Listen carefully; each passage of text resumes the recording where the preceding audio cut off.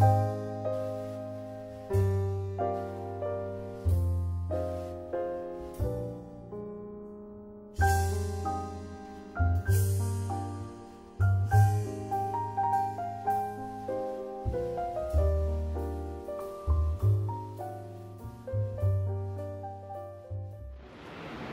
soy Santiago Botas de Sinaves.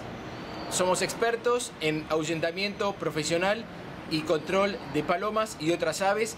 En esta ocasión quiero mostrar la instalación de una red de polietileno anudado con rombos de 5 centímetros. Es una red translúcida que se colocó en un pozo de luz en un edificio en Belgrano, ciudad de Buenos Aires, para impedir el ingreso de las aves al pozo en donde anidaban y se posaban en los balcones técnicos y en algunas ventanas a las cuales no se podía acceder porque tenían un paño fijo, vidrios que no se podían abrir.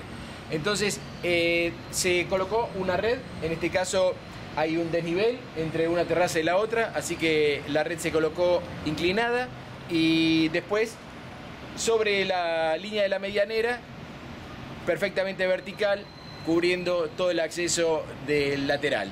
Bueno, para más información sobre control de aves en la ciudad de Buenos Aires y en toda la República Argentina, acceda a nuestro sitio web www.sinaves.com.ar y contáctese con nosotros.